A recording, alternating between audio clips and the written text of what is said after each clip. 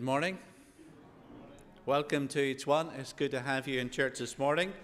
If you're joining via live stream, we also offer you a warm welcome as we share in fellowship together.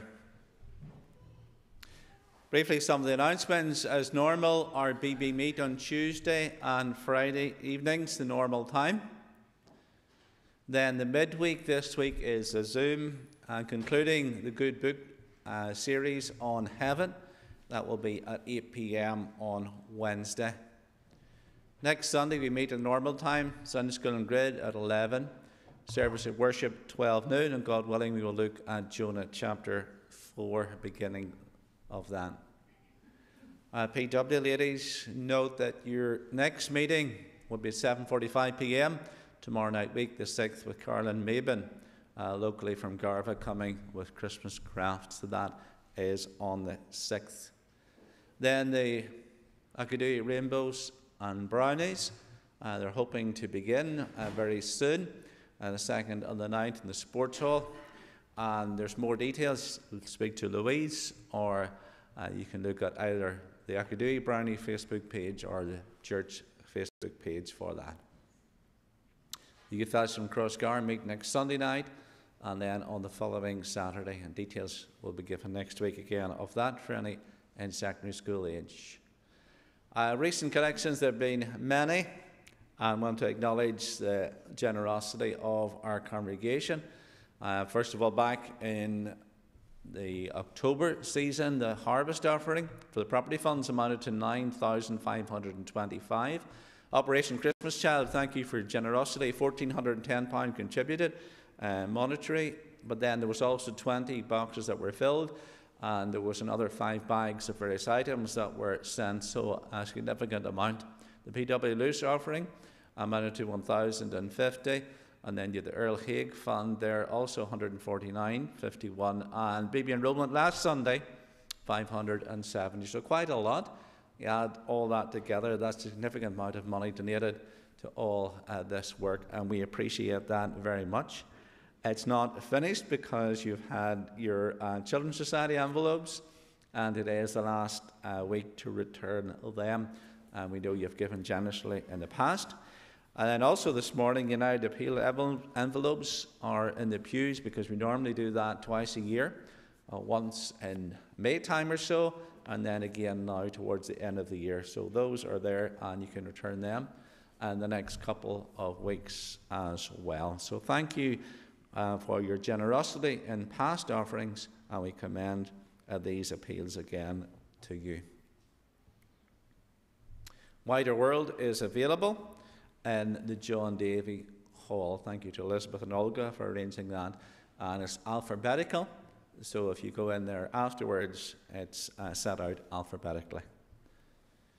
Uh, then the Bible reading notes, thank you to John Wilkinson for looking after this. Uh, some have used it in the past. Existing orders will be uh, maintained, but if you want to change or start for the first time, then please speak to John about that. And it's very important that we read God's Word faithfully to learn uh, from Him. So please note that. And that are, those are all the announcements saved. Just to remind you, uh, you were probably informed on the way in that there's been a change in advice from the Presbyterian Church um, as of Friday evening. So, as of Friday evening, up to now, we were wearing masks only to sing, and they've asked now that if you're over 13, that you wear masks all the time. So, apologies if that's a shock to, to you. Um, it's because of the changing circumstances in society. Obviously, there's more COVID around. Uh, unfortunately, there's new variants coming in as well. You will know that in wider society, there is the uh, possibility that COVID passports will be needed uh, to go into venues for entertainment, uh, restaurants, clubs, etc., cinemas. And it is the strong desire of the Presbyterian Church that we don't arrive in a position where people have to show passports to come to worship. So, in order for that not to be the case, it's important that we're seen to go the extra mile uh, as it were. So, face masks for the time being are to be worn not just for singing but for all of the service, and that will be true for the immediate future uh, in Sunday mornings. So, thank you for your cooperation and understanding in that. We're going to be looking at Jonah 4 to, or Jonah 3 today. We looked at it before uh, under the heading of God of Second Chances, speaking about how he worked with Noah. And that was primarily the first four verses. We're going to look at the theme of repentance today. The city of Nineveh repented and turned to God. And of course, we are told in Scripture that when we turn to God, He will receive us graciously. Whoever calls in the name of the Lord shall be saved. Romans 10, verse 13. Let's bow and seek God's blessing upon us. Father, we rejoice that we can come again this morning together as your people to worship you and to learn from you. We pray that we would know your blessing. We pray that you would challenge us from your word, and may you be exalted and glorified. For we pray this in Jesus' name. Amen. Thank you, Daphne, and to the folk on the desk again this morning and the choir who will lead us, and those who lead from the front are permitted to remove masks for that purpose. So we're going to begin by singing All Hail the Power of Jesus' Name before him angels fall. And this is taken out of the new hymn book, so please uh, pay careful attention because it's slightly different uh, from the older version that you may know in your head. All hail the power of Jesus' name. Thank you to the choir.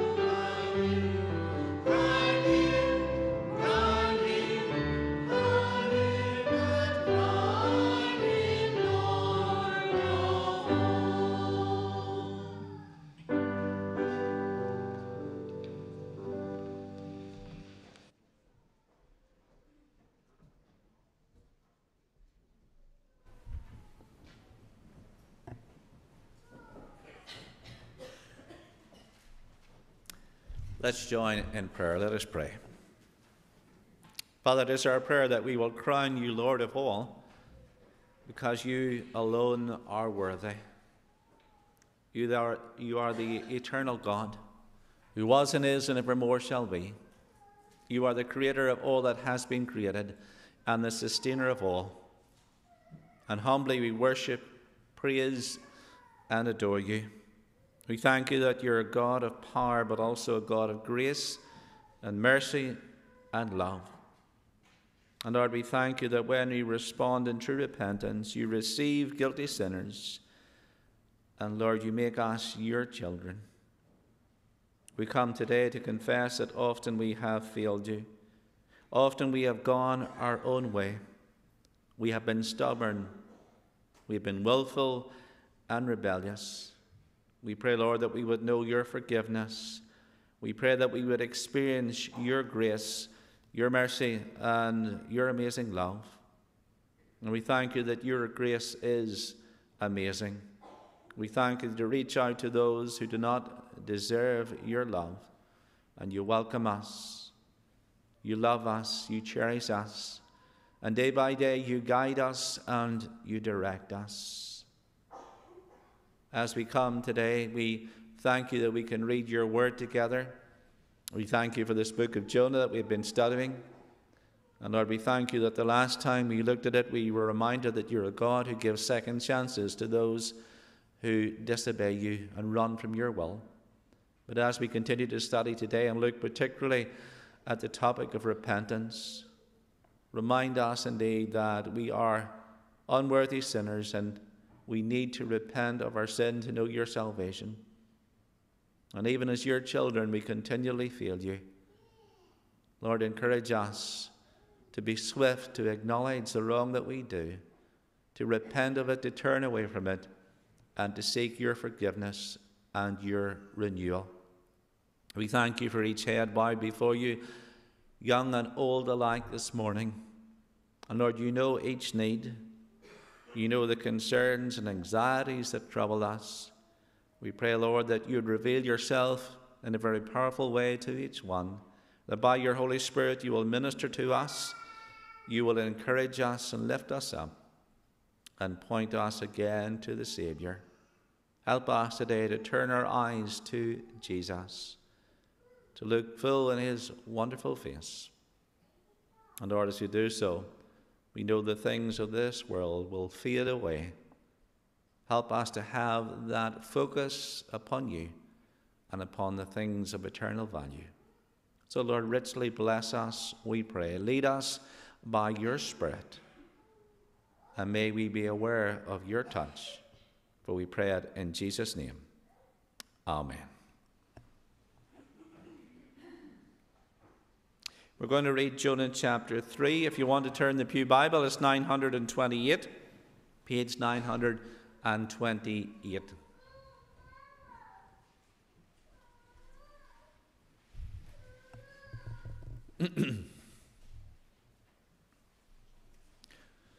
we read the first four verses uh, last time, thinking particularly about the call uh, to Jonah and his second chance. That was two weeks ago.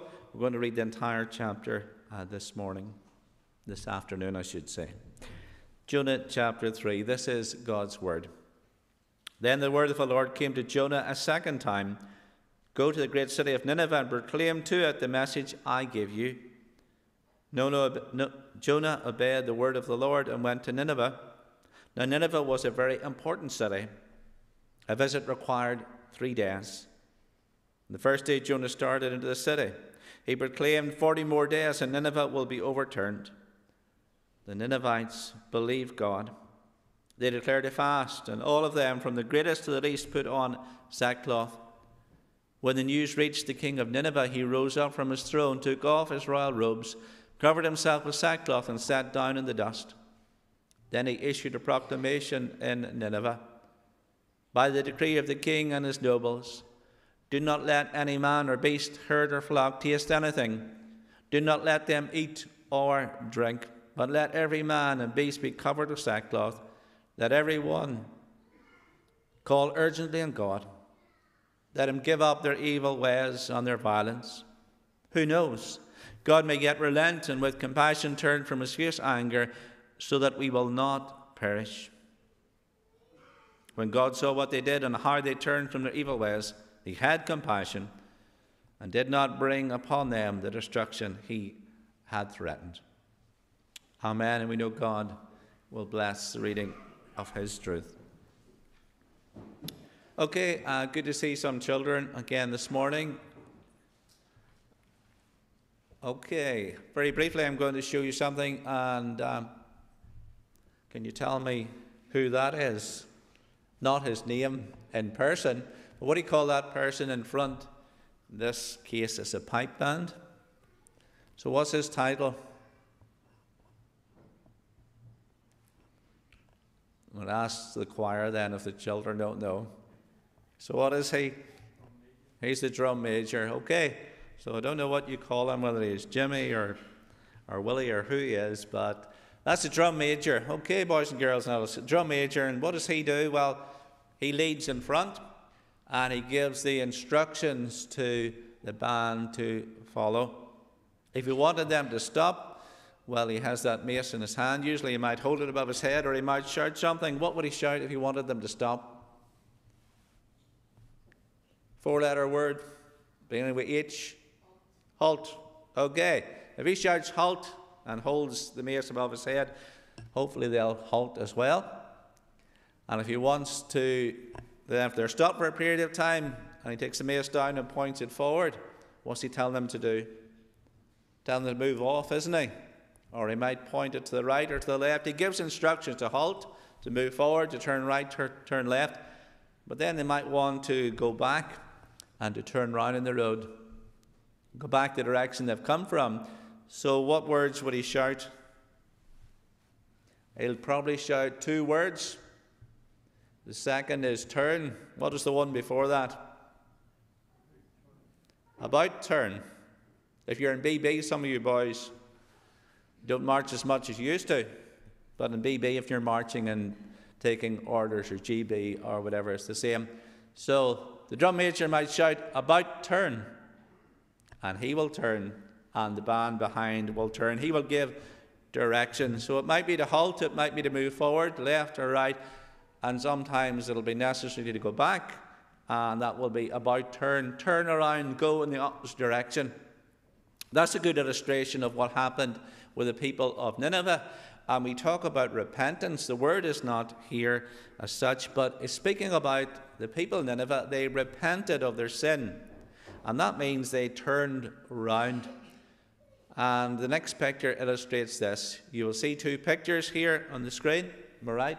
Path to sin and death, the one on this side. And you see, the Bible tells us when we're born, in our hearts we have sin, we inherit sin. We do things that are wrong, say things that are wrong, think things that are wrong. That's called sin. And if you like, we're heading away from God. We're heading on the path to death and to destruction. But then God, in His mercy, speaks to us. He calls us. He tells us that He loves us. And if we respond to His call and believe in Jesus, the one who died for us, if we're sorry for our sin, then God will forgive us. And see, that's what repentance is, because the other arrow says path to life in God, and that is turning round about turn and going in a completely different direction. And you see, that's what happened with the people of Nineveh. They were living sinful lives, they were very violent people, evil people. But Jonah shared God's message. And Jonah told them they would be destroyed because of their wickedness. But we can be sure that he told them more than that. And they came to understand that because of their sin, they would be destroyed. And so they knew they were in the path to ruin and to death. But as God spoke to them, they were sorry for the wrong that they had done. They turned away from it because we read here they put on sackcloth. That means they were sorry for their sin. They fasted. And the king said also, Let them give up their evil ways and their violence. In other words, they changed their attitudes and they changed their behavior. They turned away from their sin. And it's just like what we see on the sign. They were heading for ruin. But God spoke to them and they turned round and they headed in a different direction, no longer towards destruction, but towards God and salvation. And that's a picture of what repentance is. Just like the band about turn, we turn around, we go in a different direction, we're sorry for our sin, and we trust in Christ and seek to follow Him. And see, the Bible tells us that we're all headed in the same direction at the start, towards ruin. We're all like that. And we need to hear God speaking to us as, he, as we read the Bible, as we listen in Sunday school, in BB, or in church, or wherever. As God speaks to us, He tells us that there's sin in our lives that we need to ask God to forgive. We need to turn to Him. If we do, He will receive us, He will forgive us, and make us a child of God. What is a Christian? What is a believer? What is a boy or girl, a young person or an adult who has realized they have sinned in their lives, have said sorry to God for their sin, have asked Jesus into their hearts to be their Saviour? It's a person or a young person or a child who has turned around and turned to God. And that's what God wants each one of us to do today. Let's pray to Him for a moment. Father, we praise you and thank you, the great God that you are, but you're also a loving God. And when we turn from our sin, we know you will receive us and make us your child. Help us today to understand that there's sin in our lives, that we need to repent, we need to say sorry, and we need to turn away from that sin and turn to Jesus. May each one of us, young and old alike, do that this day. For we pray it in Jesus' name. Amen. Okay, we're going to sing I'm Special because God loves me. We can turn to God and repent as we trust in what Jesus has done for us, dying for us. We're going to sing this. Uh, the offering will be brought up and left on the communion table um, at this point, and then, children, you're free to go to Children's Church after we conclude. I'm special.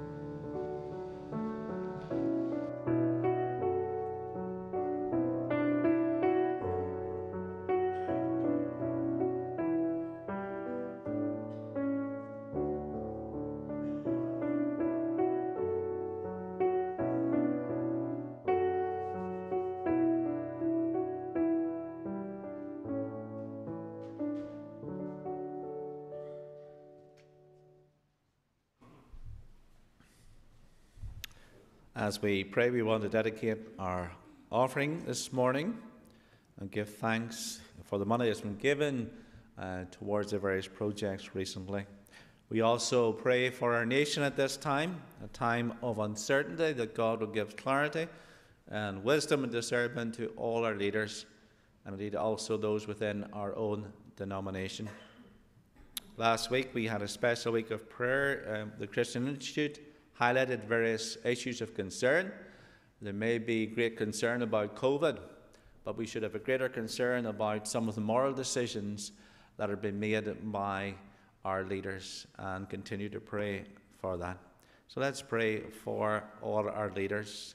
Let's pray for our health professionals at a time of great stress, for our local hospital and GP and those working in nursing homes, etc. Let's come to God in prayer.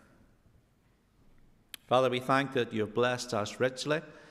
Uh, we thank you for all the money that's been given recently to the special appeals for the work of PW, the work of BB. We thank you for the good response to the Operation Christmas Child and for the help that will be to many less fortunate children.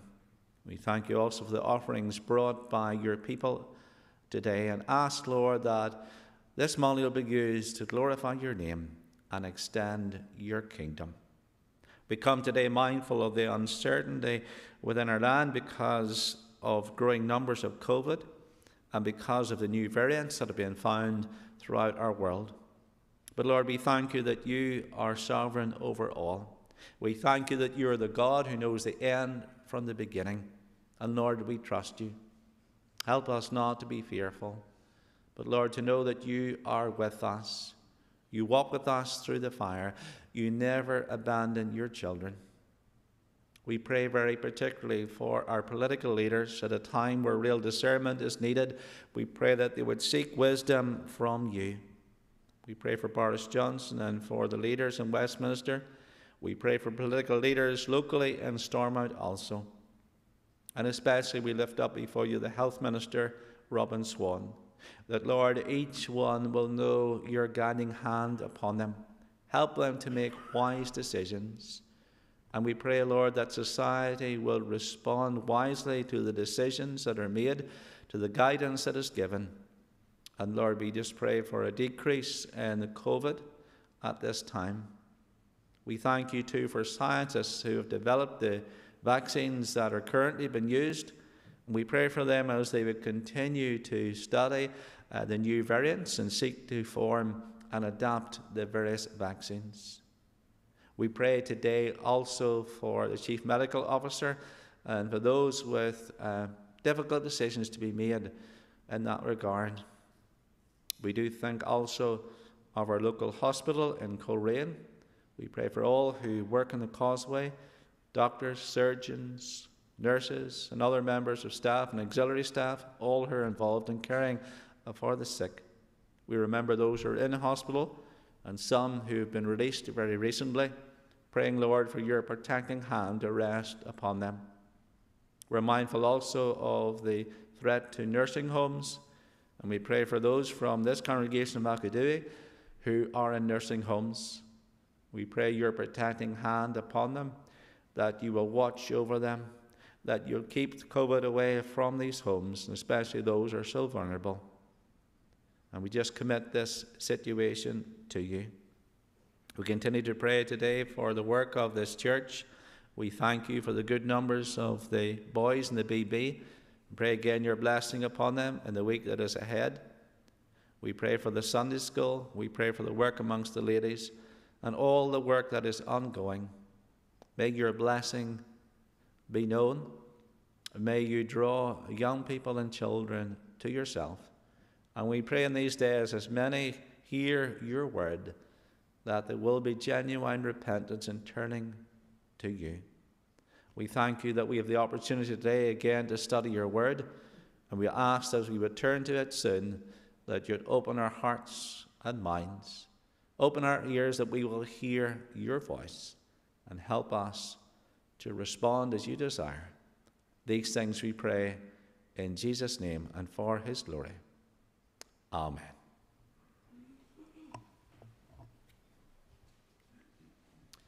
Before we study together the Word of God, we're going to sing this Getty piece. Our sins are many, His mercy is more.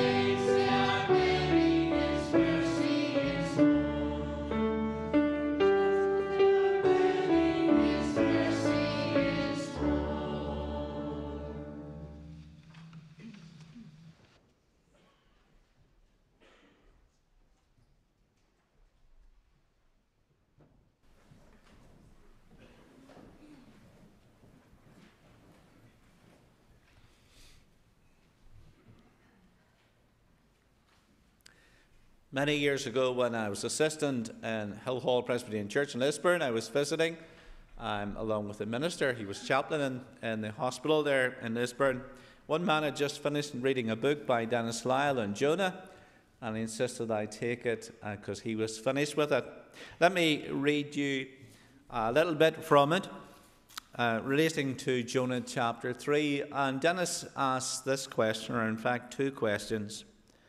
What would we say, what would we say if a lone preacher from the West were to preach the gospel in Beijing and witness a mass revival, which issued in the conversion of the Chinese authorities and a directive from the ruling hierarchy that abolished state, state atheism in favour of complete freedom for the worship of God and the preaching of Christ? Do you believe such a thing could happen? That was written in 2004. Of course, China is becoming increasingly more powerful, but still very much opposed to the things of God.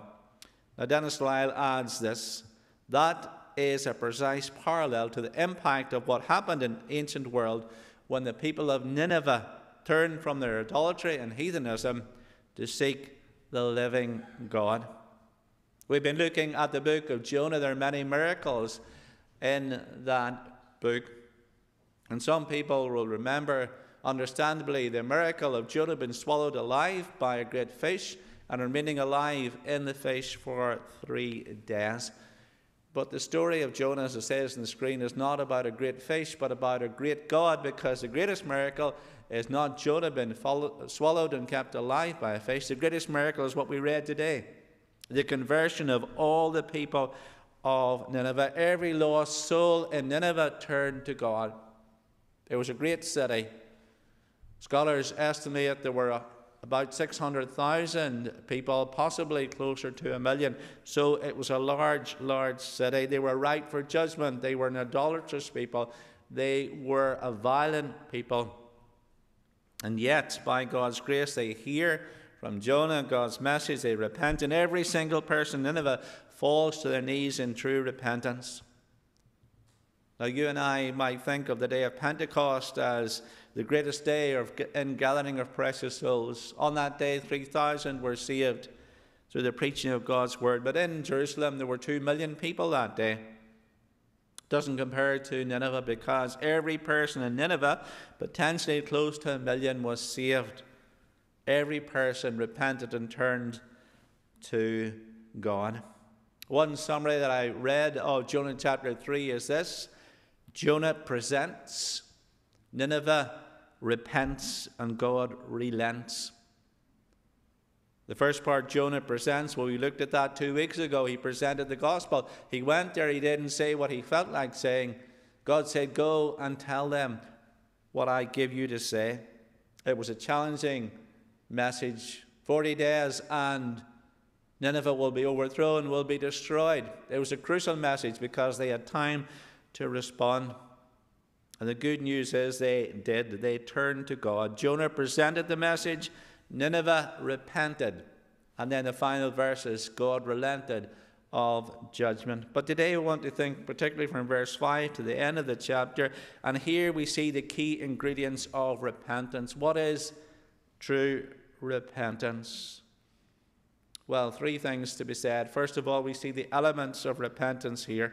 Jonah shares the message. He does it boldly, faithfully. I'm sure he had concerns. He was a bit reluctant. He was a lot reluctant, but he went and he shared the message. He must have shared it, and there must have been some trepidation and anxiety when he was finished. What would happen to him next? These were our barbaric people who were famous for killing people and torturing them, for people suffering excruciating deaths at their hands, how would they respond? Would he suffer the same fate? Would he be brutally killed, tortured even? Or would he be mocked and ridiculed? What would happen? Well, what happened was that people turned to God. The response was absolutely amazing. The first thing we see in verse 5 is this the people believed God. The people believed God. That's what you read in verse 5. It doesn't say they believed Jonah. Jonah was a messenger. It doesn't say they believed Jonah, they believed God. They heard God speaking through the prophet Jonah. And he was, of course, somewhat self righteous. He didn't have any real love for them.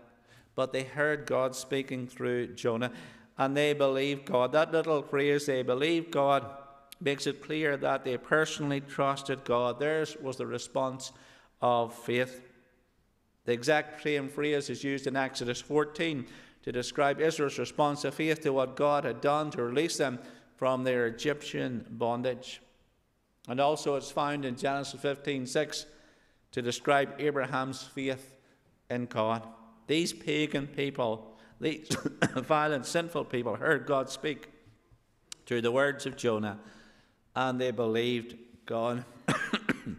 Jonah, if you like, was merely their instrument.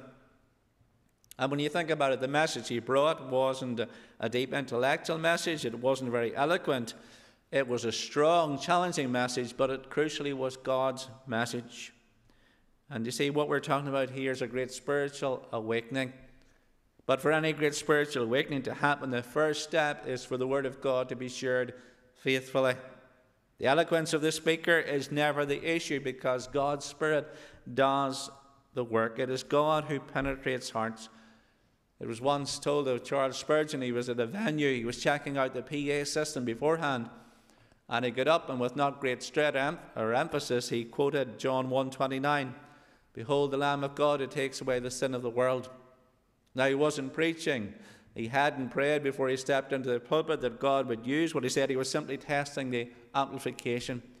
But there was a janitor nearby who heard that verse And God used it to touch him. He was convicted of his sin, and there and then, on the spot, he surrendered to Christ.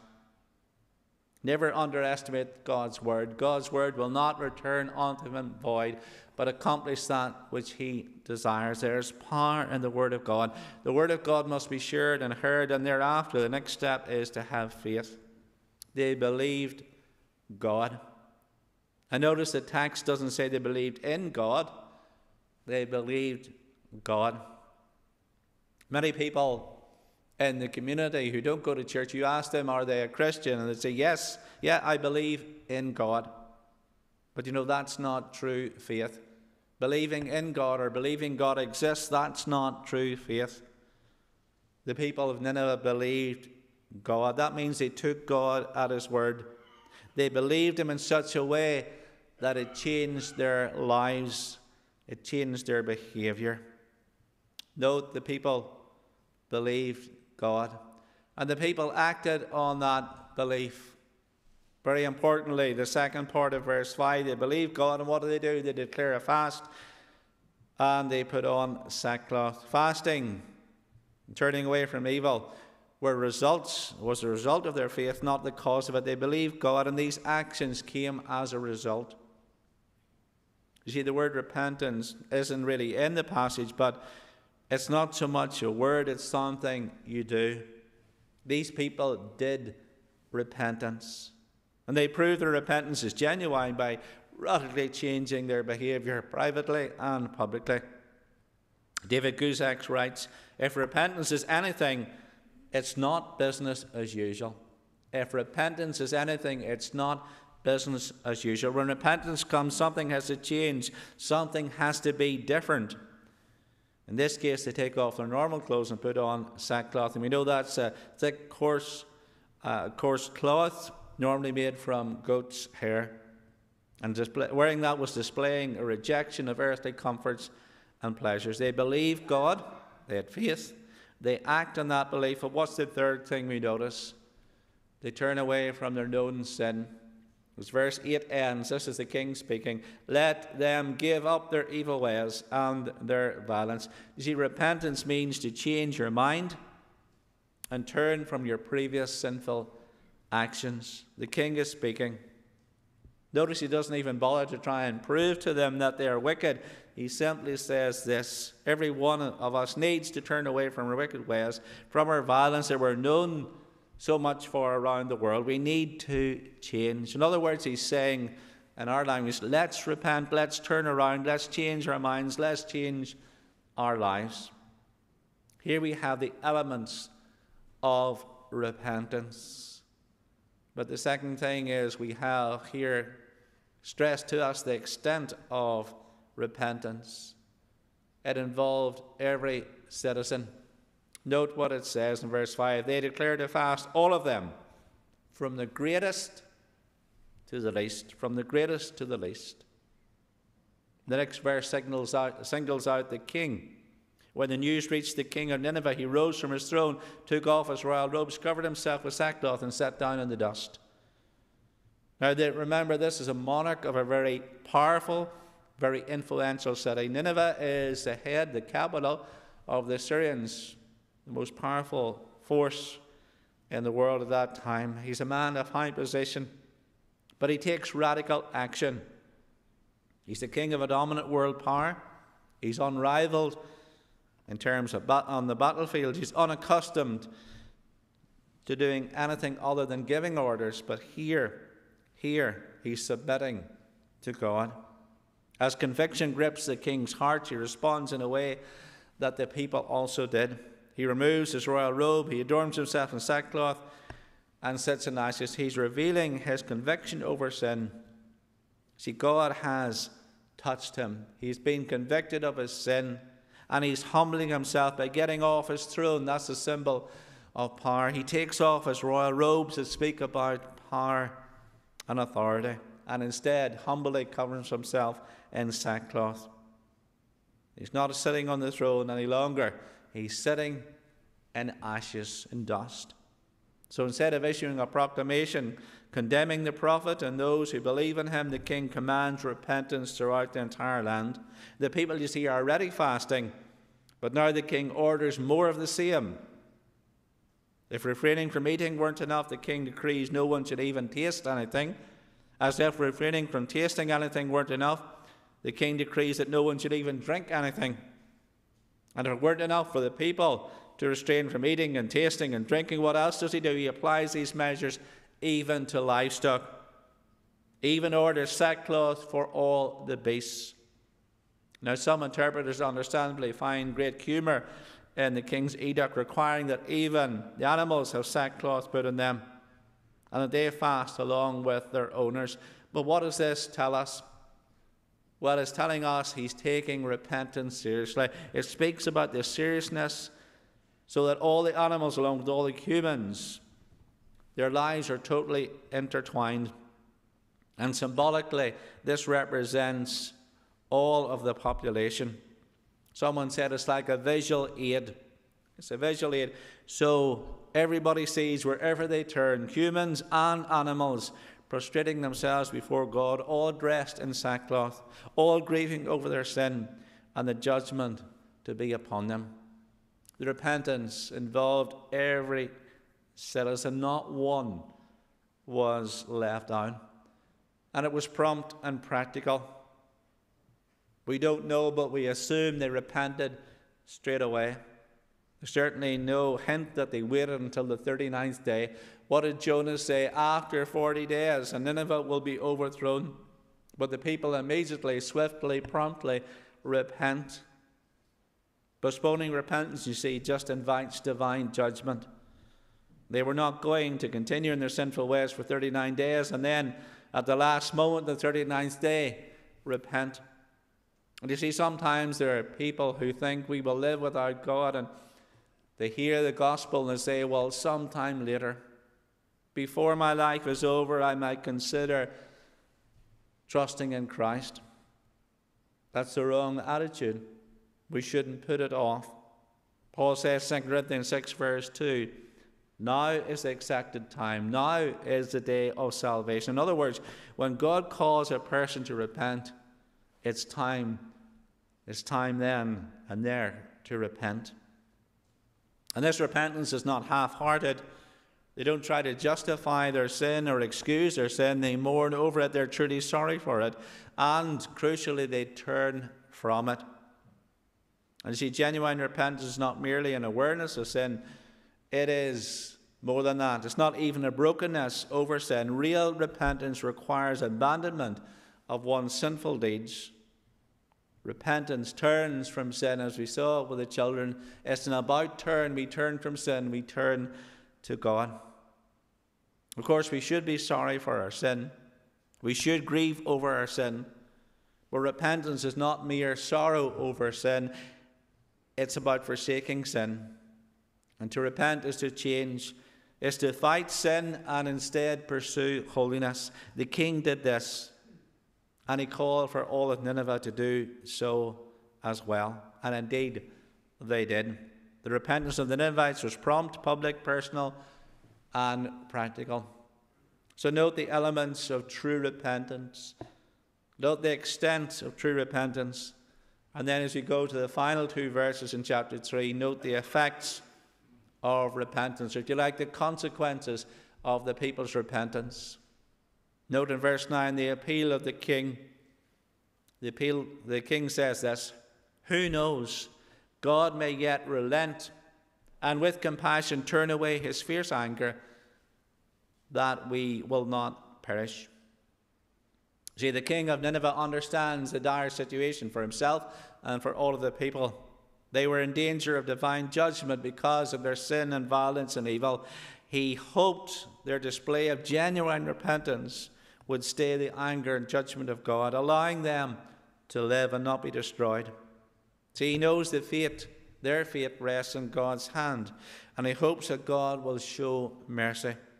We should understand and appreciate that he's not bargaining with God, he's not trying to make some deal with God. He and the people genuinely forsake their sin because it's the right thing to do. It's obeying God. But he knows that that doesn't suddenly mean that God has to be merciful to them. He said, Who knows? God may. God may be merciful or God may not be merciful. You see, God is a God of second chances, as we saw in the opening four verses of this chapter when we studied it two weeks ago. But He doesn't have to be. And we shouldn't assume that God always will be. Think about Uzziah and the ark of the Lord in 2 Samuel 6. He stretched out his hand and was struck dead immediately because he touched the ark of the Lord. He'd been commanded not to do so. Think about Ananias and Sapphira in Acts chapter 5. They were struck dead for lying to God. See, God is in the habit of saving sinners, but we should never presume upon his mercy. We should never merely treat him as if it's his job to forgive us, no matter what. Note the appeal. Who knows? God may be merciful. And then, as we read the final verse, we see the alteration because God indeed is merciful. When God saw what they did and how they turned from their evil ways, He had compassion and did not bring about the destruction He had threatened. Now, from a human point of view, it looks like God had changed his mind, and some critics of the Bible say, Here's God. God's supposed to be immutable. Theological term means he doesn't change, but here he is God is changing his mind. It looks like that from a human point of view, but from a divine point of view, God is simply responding as he'd already proposed to the change in the Ninevites' heart towards him, to the change in their behavior, to their repentance. The hand of judgment of God was stayed, and God shows mercy rather than wrath. Although they are undeserving, God chooses to offer grace to them. And grace is always undeserved. Verse 10, as I say, is a problem for some critics. They say, well, does this not show that God changes his mind? He was going to destroy them, and now he's not. Well, the answer is yes and no. Does God change his mind? The answer is yes and no. In his character, the answer is no. He is holy and just and unchangeable. God cannot, never will tolerate sin. But in his mercy, the answer is yes, for he turns his face to any seeking sinner. The Bible says, Draw near to me, and I will draw near to you. See, God relents of the punishment he said he would bring to Nineveh when they repented of the evil they had done. God didn't change his mind, the people changed their ways. The people changed their ways, and in response, God acted differently. F.B. Meyer gives a very useful illustration in this regard. On the screen, you see someone walking into or walking against the wind. So he explains what happened this way. He says, if you're walking against a strong wind, the wind is opposing you, and you see the effort is taken to walk into the wind. It's opposing you, it's holding you back. But if you reverse and you go in the other direction, the wind's no longer opposing you, the wind is helping you. Now, the wind hasn't changed. You have changed your relation to the wind. And likewise, God hasn't changed here. But the Ninevites changed their direction. And it's the same for us. If we reverse our direction in regard to Him, He's no longer against us, but He is with us and He is for us. And it's just like our merciful, loving God to forgive the people of Nineveh. He turned from judgment and he displayed wonderful grace and mercy towards them. Here we see the elements of repentance. We see the extent of repentance and the effects of repentance. But as I close, let me leave you some lessons and then ask a very important question. First of all, lessons. Three simple thoughts from this. If God is a God is a God of mercy, offering abundant grace to the undeserving. These people in Nineveh deserved only judgment. And we, because of our sin, deserve nothing but God's judgment. Because as we've been saying, our sins are many, but God's mercy is more. He is a merciful God who wants to forgive us our sin, who wants to save us. God is a God of mercy, offering abundant grace to the undeserving. Secondly, if the great city of Nineveh could be saved, No person is beyond hope. I read at the beginning from Dennis Lyle, a book he'd written back in 2004, speaking about Beijing. If a lone preacher went to Beijing and the whole of the city would be saved, everyone turned to Christ and they would change their behavior, that's equivalent to what we read about here in Nineveh. But surely this story should fill us with hope. If God could do this through a prophet who was reluctant, who was far from perfect, who didn't have a great heart of love for the Ninevites, God can save any nation, any people, any individual. No one is beyond hope. And that old hymn, To God be the glory, contains that lovely hymn, or at least it did in the old version. The vilest offender who truly believes that moment from Jesus, a pardon receives. No one is beyond God's wonderful grace and mercy. God is a God of mercy. Nineveh could be saved, so any person can be saved.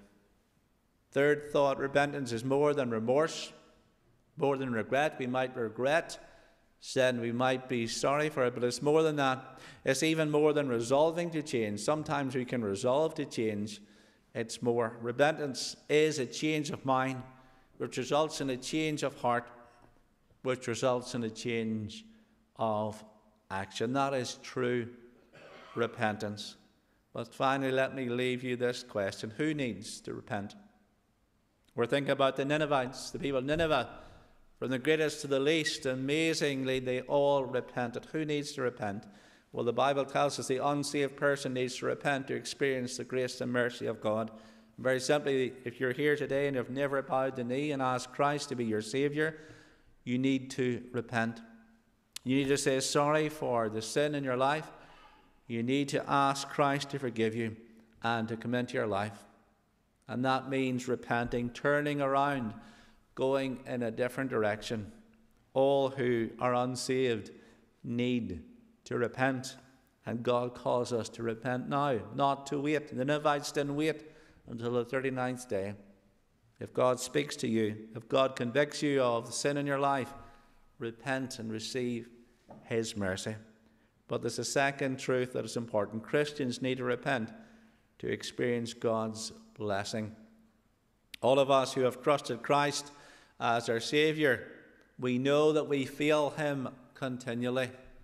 We do things that grieve Him, that hurt Him. We need to repent and seek His forgiveness. We've been thinking about our land, praying for it. There are many concerns and challenges, morally, particularly. The answer is 2 Chronicles 7, verse 14. If my people who are called by my name, in other words, Christians, if Christians will humble themselves and pray and seek my face and turn from their wicked ways, that's repentance. Christians humbling themselves, praying to God, repenting of their wrong attitudes and behavior. If they do that, I will hear from heaven, says God. I will forgive their sin. I will heal their land. That's the greatest need. There's a lot of talk about Brexit protocol, a lot of time expended on news bulletins because of COVID, understandably so. But the greatest need of Northern Ireland, the greatest need of our land is a spiritual need. And the answer is for Christians to turn away from sin, to seek God, to pray faithfully, and God will pour out His Spirit upon our land again. Let's bow in prayer as we close. Father, we thank you for this wonderful passage. We thank you for the reminder that you're a God of mercy, a God of grace. We thank that the Ninevites turned in true repentance to you, and we thank you that we can know that any person can be saved. We pray for any today who have never bowed the knee and asked Christ to be their Saviour, that, Lord, you will remind them of their need of Jesus that you'll remind them of your amazing love, that you want to draw near to them, you want to forgive them their sin, you want to make them your child. We pray, Lord, that they would not put off that decision, but reach out to you today and accept your offer of salvation. And for those who know Christ as Saviour, Lord, continue to challenge us that we indeed would be people who will humble ourselves and pray people who will seek your face, and people who in repentance and sorrow will turn from our wicked ways. And Lord, in response, we know you will forgive us, and we know that you will heal our land. We pray, Lord, today for revival among your people, and we pray for a great spiritual awakening amongst those who are lost in sin. Lord, hear our cry, we pray, for the glory of Christ's name. Amen. As we close, it's very appropriate we sing the well known hymn, Amazing Grace. How sweet the sound that saved a wretch like me. It is by God's grace alone that we can know salvation. Amazing grace.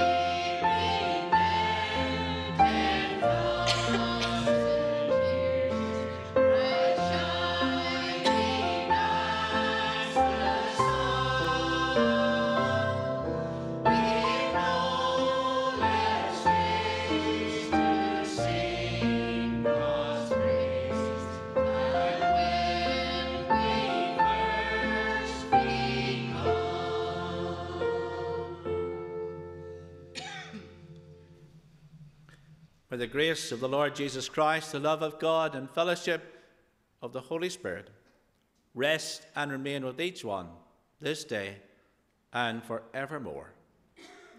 Amen.